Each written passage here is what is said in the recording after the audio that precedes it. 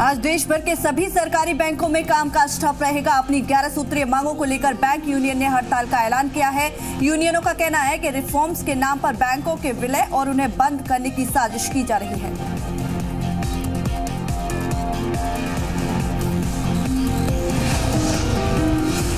Bank union banking heating में बदलाव के विरोध पर भी काम कर रही है। उसके साथ ही बैंकों की मांग है कि विमुद्रीकरण के दौरान किए गए अतिरिक्त कार्यों का अधिकारियों और कर्मचारियों को उचित कंपनसेशन मिले। इसके साथ ही पेंशन में सुधार और नई पेंशन व्यवस्था बहाल करने की भी मांग की जा रही है।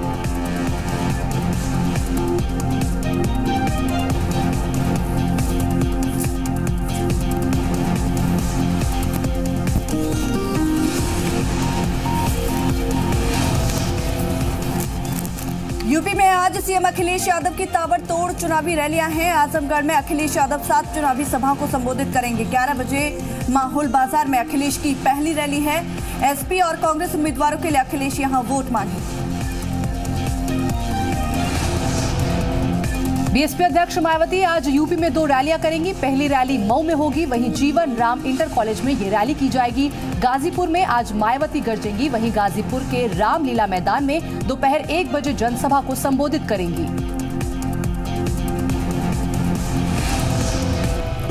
गृह मंत्री राजनाथ सिंह भी आज यूपी में तूफानी चुनाव प्रचार करेंगे। कुशीनगर, गोरखपुर, मऊ और बलिया में राजनाथ सिंह की रैली होगी। जनसभाओं के ज़रिए राजनाथ सिंह बीजेपी प्रत्याशियों के लिए वोट मांगेंगे। महंत आदित्यनाथ आज देवरिया और गोरखपुर में कई जनसभाओं को संबोधित करेंगे। आदित्यनाथ लोगों से बीजेपी प्रत्याशियों को वोट मांगने की अपील करेंगे। इसके साथ ही समाजवादी पार्टी और कांग्रेस लगातार आदित्यनाथ के निशाने पर रही है। कांग्रेस उपाध्यक्ष राहुल गांधी आज मणिपुर के दौरे पर रहेंगे। इम्फाल के हफ़्ता कंगचेवंग ग्राउंड में राहुल गांधी जनसभा को संबोधित करेंगे। करीब दो बजे राहुल गांधी जनसभा को संबोधित करेंगे। अमेरिका में नस्लीय हिंसा का शिकार हुए श्रीनिवास कुची भोटला का शव देर रात हैदराबाद लाया गया। आज उनका अंतिम संस्कार जुबली हिल्स में होना है। उसके साथ ही 22 फरवरी को अमेरिका के कंसास शहर में पूर्व नौसैनिक एडम डब्ल्यू परिंगटन ने एक बार में दो भारतीयों पर गोली चला दी थी, जिसमें कुची भुटला की भी मौत हो गई थी। विदेश मंत्री सुषमा स्वराज ने एक ट्वीट किया है जिसमें उन्होंने उसकी बहादुरी की तारीफ़ करते हुए उसे जल्द ठीक होने की कामना की है। वहीं विदेश सचिव जयशंकर आज अमेरिका रवाना होंगे। वो राष्ट्रपति डोनाल्ड ट्रंप के अधिकारियों से मुलाकात करेंगे। इस दौरान वो अमेरिका में भारतीय नागरिकों की सुरक्षा और वीज़ा संबंधी मुद्दों पर भी बातचीत कर सकते हैं। रामजस कॉलेज में हंगामा और एबीवीपी के मार्च के जवाब में आज एआईएसए दिल्ली यूनिवर्सिटी में मार्च निकालेगा। वहीं एनएसयूआई के सदस्य शाम को कैंडल मार्च निकालेंगे। केंद्र सरकार ने कहा कि देश के विश्वविद्यालयों को राष्ट्र विरोधी गतिविधियों का अड्डा बनाना सही नहीं है। सोमवार को दिल्ली यूनिवर्सिटी में 180 फीट का तिरंगा मार्च निकाला गया। एबीवीपी के छात्रों और डीयू के तमाम छात्र नेता इस तिरंगा मार्च में शामिल हुए। मार्च में वंदे मातरम और हिंदुस्तान जिंदाबाद के भी नारे लगाए गए। ये तिरंगा मार्च एक खास मकसद से निकाला गया। डीयू कैंपस में छात्र संगठन एबीवीपी और आयसा के बीच हुई मारपीट और हंगामे के बाद से माहौल को शांत कराने के लिए तिरंगा मार्च निकाला गया। 22 फरवरी को नॉर्थ कैंपस के रामजस कॉलेज में कार्यक्रम में जेएनयू के छात्र और भारत विरोधी नारे लगाने के आरोपी उमर खालिद के शामिल होने का एबीपीपी ने विरोध किया था, जिसे लेकर एबीवीपी और आयसा के छात्रों के बीच जमकर मारपीट भी हुई थी। डीयू में जारी हंगामे को लेकर केंद्रीय गृह मंत्री किरण रिजिजू ने कहा कि अभिव्यक्ति की आज़ादी के नाम पर देश विरोधी नारेबाजी को जायज़ नहीं ठहराया जा सकता। वहीं इस मसले को लेकर सोशल मीडिया पर चर्चित छात्रा गुरमेहर कौर ने कहा है कि उनके पास सोचने की क्षमता है और उसे किसी ने गुमराह नहीं किया। कोलकाता के बड़ा बाज़ार में कल रात को भीषण आग लग गई और इस दौरान आसपास की इमारतों को भी जल्दी खाली कराना पड़ा। दक्षिण एशिया के सबसे भीड़भाड़ वाले इस बाज़ार में आग बुझाना एक बड़ी चुनौती साबित हुई। आग को बुझाने के लिए 35 से ज़्यादा फायर ट्रेंडर मौके पर तैनात किए गए। इस दौरान कई दुकानों में रखे केमिकल की वजह से आग तेज़ी से भड़कती रही।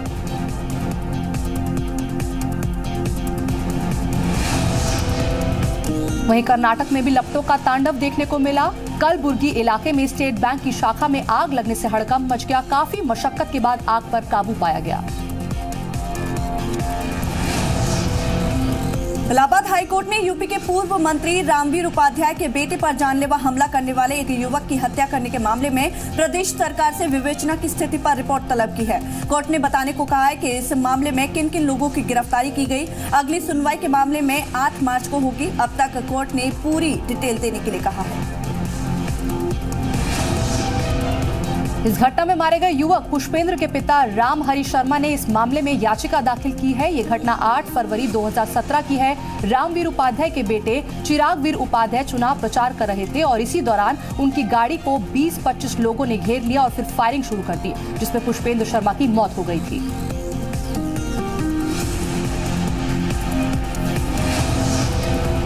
मामले में एसपी विधायक देवेंद्र अग्रवाल और 11 अन्य लोगों के खिलाफ प्राथमिकी दर्ज कराई गई। पूरे मामले में पुलिस की लापरवाही भी सामने आई थी, जिसके बाद केस अलीगढ़ क्राइम ब्रांच को सौंप दिया गया। नोएडा विकास प्राधिकरण के पूर्व चीफ इंजीनियर यादव सिंह और उसके परिजनों और सहयोगियों पर कानून का शिकंजा कसता नज़र आ रहा है। ईडी यादव सिंह को आज, कल और 2 मार्च को लखनऊ जेल में पूछताछ करेगी। यादव सिंह पर हज़ारों करोड़ रुपए के भ्रष्टाचार का आरोप है। इससे पहले गाजियाबाद में सीबीआई कोर्ट ने यादव सिंह की पत्नी कुसुम लता और पंकज जैन के खिलाफ कुर्की के आदेश दिए थे। कल यादव सिंह को ईडी के विशेष न्यायालय में लखनऊ ले जाया गया। सुनवाई के बाद यादव सिंह को कोर्ट ने चौदह दिन की न्यायिक हिरासत में लखनऊ जेल भेज दिया है। महज छह दिन के महामंडलेश्वर रहे सचिन दत्ता उर्फ़ सचिदानंद गिरी को आखिरकार यूपी पुलिस ने गिरफ़्तार कर लिया है। पुलिस ने सचिन दत्ता को दिल्ली से गिरफ़्तार किया। सचिन दत्ता पर कई लोगों से करोड़ों रुपए ठगी करने का आरोप है। सचिन दत्ता शराब कारोबारी पॉन्टी चड्डा के साथ मिलकर शराब कारोबार में उतरा और काफ़ी पैसा बनाया। उसके बाद Sachin Datta real estate sector में उतरा और नोएडा, इंदिरापुरम और जालंधर में कई प्रोजेक्ट लॉन्च किए। बालाजी इंफ्रास्ट्रक्चर और फोस्टर हाइट्स के नाम से सचिन ने प्रोजेक्ट काफ़ी चर्चित रहे। उसके साथ ही नोएडा के वे मॉल में सचिन ने एक बियर बार भी शुरू किया था। सचिन के खिलाफ दिल्ली के एक शख्स ने 11 करोड़ रुपए से ज़्यादा की धोखाधड़ी का केस भी दर्ज कराया था। वहीं पुलिस का अंदेशा है कि सचिन ने कई दूसरे लोगों को भी अपनी ठगी का शिकार बनाया। आतंकी संगठन सिमी के सरगना सफदर नागौरी समेत 11 आतंकियों को इंदौर की स्पेशल कोर्ट ने देशद्रोह के आरोप में उम्र कैद की सजा सुनाई है। देशद्रोह के आरोप में सिमी के 11 आतंकियों को इंदौर की स्पेशल कोर्ट ने उम्र कैद का फैसला वीडियो कॉन्फ्रेंसिंग के ज़रिए सुनाया। आतंकियों ने खुद कोर्ट से अपील की थी कि वो इंदौर नहीं जाना चाहते। सभी आतंकी इस वक्त गुजरात की साबरमती जेल में बंद है। सिमी के सरगना, सफदर, नागौर समेत 11 आतंकियों से कोर्ट ने दो दिन पहले ही पूछताछ पूरी की थी। इन सभी से अलग अलग तीन सवाल पूछे गए थे, जिनके जवाब एक जैसे ही मिले। सिमी के 17 आतंकियों को 26 मार्च 2008 को इंदौर से गिरफ़्तार किया गया था। आतंकियों के पास से भारी मात्रा में हथियार, नक्शे और जिहादी साहित्य भी बरामद किया गया था। आगरा में पुलिस ने सौ रुपए के नकली नोट सप्लाई करने वाले दो बदमाशों को गिरफ़्तार किया है। पकड़े गए आरोपियों के पास से डेढ़ लाख रुपए के नकली नोट बरामद किए गए हैं। गिरफ्तारी आगरा के थाना हरि पर्वत से संजय प्लेस इलाके में से हुई है और गिरफ़्तार लोगों से दिल्ली की मशबुरा और दूसरा पानीपत का राकेश शामिल है। पुलिस इनसे पूछताछ कर रही है। वहीं एमपी के दबों में एटीएम से बिना नंबर के नोट निकलने से लोगों में हड़कंप मच गया। दरअसल यहाँ अस्पताल के पास एसबीआई के एटीएम से एक के बाद एक कई लोगों के पास पाँच पाँच सौ रूपए के नकली नोट मिले और जो नोट मिले उन पर नंबर नहीं था, जिसके बाद लोगों ने हंगामा शुरू कर दिया। पुलिस ने एटीएम को बंद करा दिया। साथ ही बैंक प्रबंधन को इस घटना की सूचना दी गई। फ़िलहाल जहाँ मामले में लोग परेशान हैं तो वहीं बैंक के अधिकारी कुछ भी बोलने से बचते नज़र आ रहे हैं। इलाहाबाद में दिन दहाड़े लूट के एक वारदात को अंजाम दिया गया। यहाँ बाइक सवार चार बदमाश आए, एक ज्वेलरी शोरूम में लूट की वारदात को अंजाम दिया। ये वारदात सीसीटीवी में कैद हो गई है। तस्वीरों में नकाबपोश बदमाश दिखाई दे रहे हैं, जिनमें से दो हथियार पकड़े हुए हैं, दो सामान लूटने में लगे हुए हैं। लूट थाना से महज 500 मीटर की दूरी पर की गई। दुकानदार के मुताबिक लगभग डेढ़ से तीन लाख रुपए की ज्वेलरी को लूट लिया गया है। वहीं पुलिस अब सीसीटीवी के आधार पर लुटेरों की तलाश कर रही है। ग्रेटर नोएडा में दादरी के मायचा गाँव में बीती रात चोरों ने तीन घरों को अपना निशाना बनाया और लाखों की ज्वेलरी और कैश पर हाथ साफ़ कर दिया। गाँव के बीचों बीच बने तीन घरों में बदमाशों ने एक ही अंदाज में चोरी की वारदात को अंजाम दिया। तीनों घरों में चोरों ने करीब 30 लाख रुपए की ज्वेलरी और लाखों रुपए का कैश उड़ा लिया। पुलिस मामले की जाँच कर रही है। बरेली के प्रेमनगर थाना इलाके में गुप्ता चौराहे पर बदमाशों ने दिन दहाड़े लूट की वारदात को अंजाम दिया। बदमाशों ने यहाँ व्यापारी फिरोज खान से दो लाख चालीस हज़ार रुपए की लूट की वारदात को अंजाम दिया।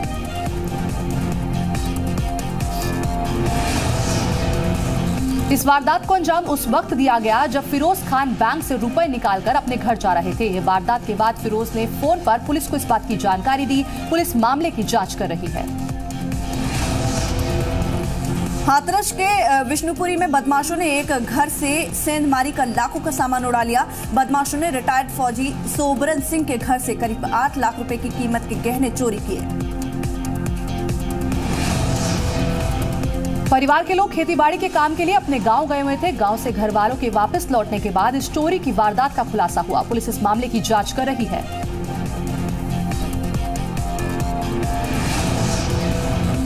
कैशलेस सिस्टम को आगे बढ़ाने के लिए सरकार और बैंक और एटीएम से कैश निकासी पर चार्ज लगा सकती है। सूत्रों से मिली जानकारी के मुताबिक बैंक जल्द ही चार से ज़्यादा बार एटीएम से कैश निकासी पर चार्ज लगा सकती है। नोटबंदी के दौरान बैंकों ने ट्रांजैक्शन चार्ज हटा दिया था। नोटबंदी से पहले एसबीआई, पीएनबी, आईसीआईसीआई बैंक पाँच ट्रांजैक्शन के बाद प्रति ट्रांजैक्शन पर पंद्रह रूपए चार्ज करता था जबकि ज़्यादातर दूसरे बैंक हर एटीएम ट्रांजैक्शन पर बीस रूपए वसूला करते थे और अब ये चार्ज फिर से शुरू होने जा रहा है। सूत्रों के मुताबिक एक महीने में बैंकों से दो लाख की कैश निकासी के बाद प्रति हज़ार रुपए पर पाँच से पचास रुपए तक के चार्ज लग सकते हैं। सरकार अब उन किसानों पर शिकंजा कसने जा रही है और जो अपनी खेती की ज़मीन को बिज़नेस के लिए मकसद से यूज़ करते हैं और किसी न किसी शख्स को लीज या फिर किराए पर दे देते हैं। इसमें कॉन्ट्रैक्ट फ़ार्मिंग ऑपरेटिव फ़ार्मिंग के लिए ज़मीन देने भी शामिल रहेगा। सरकार ऐसे लोगों को जीएसटी के दायरे में लाने जा रही है। जीएसटी के दायरे में लाने के बाद इसके तहत रजिस्ट्रेशन कराना होगा। सूत्रों की माने तो जीएसटी काउंसिल की बैठक में इस पर सहमति भी बन चुकी है। बैठक में कृषि आय, किसान और कृषि मजदूरों की परिभाषा भी तय की जा चुकी है। हालाँकि कृषि आय पर आयकर कानून के मुताबिक ही छूट मिलेगी। नए नियमों के मुताबिक किसानों से सीधे उत्पाद खरीदने वाले को टैक्स चुकाना होगा। हालाँकि खरीदार को रिटर्न दाखिल करते समय इनपुट क्रेडिट मिलेगा। वहीं खुद खेती करने वाले किसान जी ए टी के दायरे में बाहर रहेंगे। गायक कैलाश खेर को अपने काम के बदले रकम के लिए देहरादून सचिवालय में अधिकारियों से गुहार लगानी पड़ रही है। हालाँकि बकाया भुगतान के लिए फ़ाइल वित्त विभाग को भेज दी गई है। जल्द ही कैलाश खेर को केदारनाथ धाम पर बनी डॉक्यूमेंट्री का बकाया पैसा मिल जाएगा।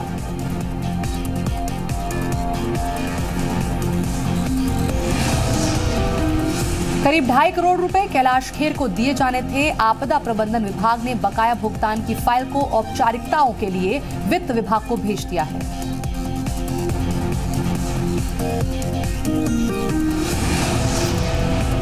कोटद्वार कोतवाली के कलाल घाटी चौकी क्षेत्र में गायों की तस्करी से पुलिस की नींद उड़ी हुई है। ताज़ा मामले में पुलिस ने चार गाय तस्करों को हथियार समेत गिरफ़्तार किया है।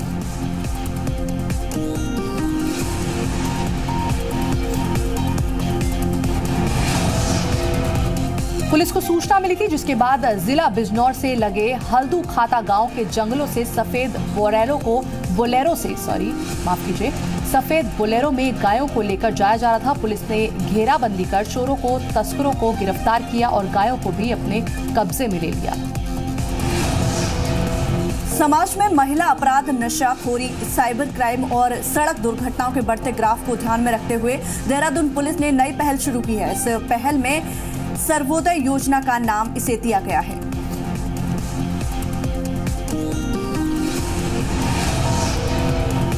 एसएसपी स्वीटी अग्रवाल की पहल पर शुरू की गई सर्वोदय योजना में स्कूल, कॉलेज, एनजीओ और मीडिया से जुड़े लोगों को शामिल किया जा रहा है, जिनके इस कार्यक्रम से जोड़कर इस योजना के ज़रिए ज़्यादा से ज़्यादा लोगों को जागरूक किया जाएगा। दिल्ली में आईएसएसएफ शूटिंग वर्ल्ड कप में जीतू राय और हिना सिद्धू की जोड़ी ने 10 metre air pistol mix doubles event में भारत को गोल्ड मेडल जिताया है। जीतू और हिना की जोड़ी ने जापान के यूकारी कोनिशी और तोयामुकु मात्सता को तीन से पाँच में हराया और वहीं भारत के अंकुर मित्तल ने मेन्स डबल ट्रैप इवेंट में सिल्वर मेडल हासिल किया है। इराक के मौसुल में सेना आईएसआईएस के खिलाफ जंग का वीडियो जारी किया गया है। वीडियो में सेना के स्पेशल फोर्स के जवान आईएस के गढ़ पर हमला करते हुए नज़र आ रहे हैं। हमले में कई आतंकियों को मार गिराने का भी दावा किया गया है। गाजा से एक मिसाइल दागे जाने के बाद इसराइल ने गाजा में हमास के ठिकानों पर फाइटर प्लेन से बमबारी की, जिसमें चार लोग घायल हो गए। इसराइल के रक्षा मंत्री ने भविष्य में भी इस तरह के हमलों का कड़ा जवाब देने का दावा किया है। सीरिया के विद्रोहियों के कब्जे वाले डेरा शहर पर सेना ने बमबारी की। सोशल मीडिया पर बमबारी का एक वीडियो भी अपलोड किया गया। इसमें कई लोगों के मारे जाने की भी खबर है। भ्रष्टाचार के आरोप में किर्गिस्तान में विपक्ष के बड़े नेताओं को जेल भेज दिया गया है। उन पर 2010 में 10 लाख डॉलर की रिश्वत लेने का आरोप लगा। विपक्ष ने आरोप लगाया है कि पुतिन के दौर में देखते हुए सरकार ने ये कार्रवाई की है। दक्षिण अमेरिकी देश चिली में भारी बारिश के बाद लैंडस्लाइड और बाढ़ की वजह से तीन लोगों की मौत हो गई। 19 लोग अभी भी लापता बताए जा रहे हैं। लोगों के घरों में बाढ़ का पानी घुस चुका है। साउथ सुडान में सूखे की वजह से 10 लाख लोगों पर भूखमरी का संकट मंडरा रहा है। वर्ल्ड फ़ूड प्रोग्राम की ओर से तैयार किए गए रिपोर्ट में यह दावा किया गया है। देश में जारी राजनीतिक संकट की वजह से लोग तक मदद नहीं पहुँचा पाई जा रही है। अमेरिका के राष्ट्रपति डोनाल्ड ट्रंप ने चुनाव के वक्त रूस की सरकार के साथ कथित मिली भगत के आरोपों से साफ़ इनकार किया है। डेमोक्रेट्स ने ट्रंप पर चुनाव में रूस के साथ गड़बड़ी करने का आरोप लगाया और मामले में जाँच की मांग कर रहे हैं। मीडिया कंपनी नेटफ्लिक्स ने अपनी Oscar winning film the White Helmet के कैमरामैन खालिद खैटिब के अमेरिका का ना आने पर दुख जताया है। खैली खातिब सीरिया के हैं और ट्रंप सरकार की नई नीतियों की वजह से वो अमेरिका नहीं आ पाए। स्पेन के बार्सिलोना में वर्ल्ड मोबाइल कांग्रेस में रिमोट के ज़रिए 70 किलोमीटर तक की इलेक्ट्रॉनिक कार को कंट्रोल कर दिखाया गया। इस प्रोजेक्ट को टेलीफोनिका और एरिक्सन ने पूरा किया इस प्रोजेक्ट की खास बात यह रही कि कार को कंट्रोल करने के लिए 5G मोबाइल नेटवर्क का इस्तेमाल किया गया। चीन में ड्रैगन रेजिंग हेड डे के मौके पर 3,800 बुज़ुर्गों को दावत दी गई और मान्यता की कि इस दिन ड्रैगन अपना सिर उठाकर स्वर्ग से बारिश करता है। इस मौके पर 90 साल के ऊपर के लोगों को विशेष सम्मान दिए जाने की परंपरा है। डिज़ाइनर डिओ अबू जानी संदीप खोसला के शो के लिए अमिताभ बच्चन ने रैंप वॉक किया। अमिताभ बच्चन का ये रैंप वॉक उनके फैंस के लिए काफ़ी तोहफे से कम नहीं था।